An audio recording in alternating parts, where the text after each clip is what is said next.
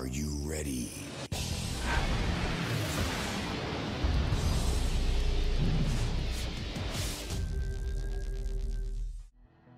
Muy buenas a todos, ciudadanos y ciudadanas imperiales. Saludos del sistema Corel. ¿Cómo están todos y todas ahí del otro lado? Gracias como siempre, antes que nada, por apoyarnos, por seguirnos, por compartir nuestro contenido. Y bueno, en este nuevo episodio vamos a estar trayéndoles todo lo acontecido con un nuevo Calling of Devs, esta especie de charla en la que los desarrolladores comentan acerca de diferentes características que en el caso del video de hoy están muy avanzadas.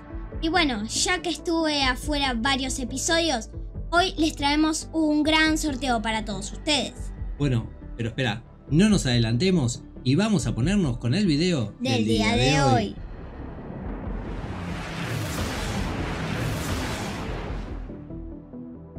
Comenzando por el ICAYE nos comentaron que esta tecnología refiere a diferentes servicios los cuales trabajan de forma conjunta con el juego mismo y las diferentes bases de datos. Esta característica permite que todas las acciones que llevamos a cabo dentro del juego puedan intercambiar diferentes datos de manera correcta contra las bases mismas u otros servicios que funcionan en la parte trasera o lo que se conoce como backend. Nos dicen que está muy avanzado todo esto al punto de tenerlo casi terminado. Los desarrolladores están reescribiendo o editando el código del juego para que el IKG comience a cumplir su función. Aún requieren optimizar bastante el código para que éste pueda trabajar de forma correcta con el IKG. Esto además servirá para la persistencia, el server meshing y también tendrá relación directa con el inventario físico. Comentan que a priori habrá una velocidad entre las consultas y respuestas por parte de la instancia o servidor contra los servicios mucho más rápida que las actuales como así también se ganará en estabilidad. Lo tienen realmente avanzado y lo veremos antes de lo que pensamos. En cuanto a la persistencia, bueno, nos dijeron que de momento solo se están guardando datos que refieren al jugador tales como naves, armas, ítems u otros. Cuando la persistencia total se encuentre en funcionamiento, todo, absolutamente todo lo que vemos en el verso se guardará.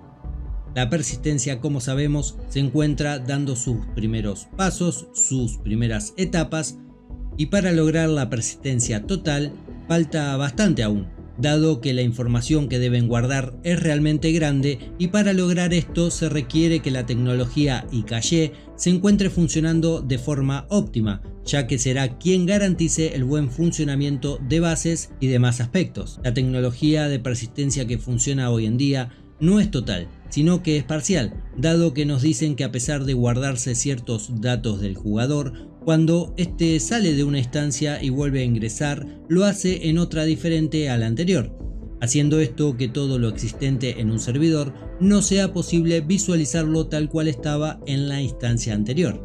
Por ello SIG quiere que todos estos datos permanezcan en el tiempo y puedan recuperarse al momento que el jugador lleve adelante diferentes movimientos de servidor en servidor. Por su parte, referente al server meshing, nos dijeron que, como sabemos, de momento las instancias poseen 50 jugadores. No pueden aumentar este número debido a que los servidores o instancias que provee en este caso Amazon se encuentran a tope de rendimiento y esto limita todo lo que rodea Star Citizen, incluso la cantidad de jugadores en una misma sesión de juego. Por ello, para llevar este número más allá de los 50 jugadores, hay que lograr dividir dicho procesamiento de datos entre varias instancias. De aquí es de donde proviene lo que se conoce como red de servidores o server meshing. En un principio habían pensado que cada servidor sea el encargado de manejar una zona específica, o sea, podríamos decir que un servidor manejaría la zona de área 18, otro Lorville, otro Grimex o cosas por el estilo, pero claro, aquí al tener que ir de un punto al otro, en este caso usando los ejemplos anteriores de área 18 al Orville, deberíamos tener que pasar de servidor a servidor. Por lo tanto, de una u otra manera, las instancias provistas por la gente de Amazon deben estar conectadas y verse entre sí. Si usamos el ejemplo anterior para ir de un punto A al C, podríamos tener un punto B intermedio, por donde tener que pasar. Allí sería donde entraría en juego un tercer servidor o instancia. Este tercer servidor sería el encargado de llevar adelante esta especie de transición entre los otros dos, haciendo que una vez que lleguemos al punto C, todo rastro de nuestra conexión sea eliminada de los otros dos servidores. Con esto se va a aliviar mucho la carga del tráfico de red entre otros aspectos. Claro que esto no será sencillo, ya que ahí entrará en juego otro actor muy importante llamado sincronización. Este punto deben tenerlo muy bien trabajado y de hecho se encuentran trabajando en él, porque será el primer responsable de que veamos el famoso desync que tanto nos molesta cuando jugamos. Obviamente cuando esto es trasladado a cientos o miles de servidores el lag o la desincronización puede ser realmente fatal, por lo que es uno de los puntos cruciales en los que se encuentran trabajando o intentando resolver. Han estado realizando pruebas de forma interna, en este caso con dos servidores, y con ello han logrado observar errores y aciertos. Próximamente volverán a intentarlo con la premisa de corregir todo lo que visualizaron mal en el primer intento. Aquí aclaran que cuando tengamos la primera versión del server meshing veremos algo de sincronización y ya lo saben muy bien, pero van a trabajar de manera intensa para arreglarlo y que esto no perjudique la experiencia de juego de los jugadores. Y finalizando con este nuevo Calling of Devs, es turno de contarles de un nuevo sorteo que traemos al canal, esta vez gentileza absoluta de la gente de Cloud Imperium Games, a quienes les agradecemos por confiar en nosotros. ¿No tenés el juego aún o lo tenés y querés sumar otra nave a la flota? Bueno, te contamos que en el transcurso del mes de septiembre estaremos sorteando un fabuloso pack starter con LTI que contiene una sensacional Avenger Titan. Esta nave de la constructora Aegis Dynamic es una formidable nave multirol con la cual podrás hacer de todo dentro del verso y como solemos decir siempre, es el mejor punto de comienzo para quien se quiere adentrar en este fabuloso mundo llamado Star Citizen.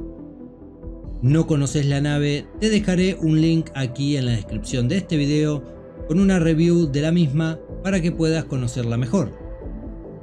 Bueno, seguramente en este punto estarás ahí del otro lado preguntándote cómo hacer para ganar este fabuloso pack que contiene un Avenger Titan, esta nave de la constructora Aegis Dynamic super polivalente y que te va a servir para hacer de todo dentro del verso. Bueno, vas a tener que dejarnos tu comentario en este video del día de hoy, como así también en los venideros del mes de septiembre, suscribirte a nuestro canal y a fines de mes de septiembre, como dijimos antes, vamos a estar realizando dicho sorteo. Además, comentarte antes de irnos que si sos usuario de Twitch y nos seguís en dicha red, se viene una buena, buena, buena sorpresa, así que muy atentos todos. ¿Y yo puedo participar? No, vos me habías pedido una carra. Está bien, espero mi carra. No se olviden de dejarnos su like, comentarnos y también suscribirse si aún no lo han hecho y también nos encantaría que compartan nuestro contenido.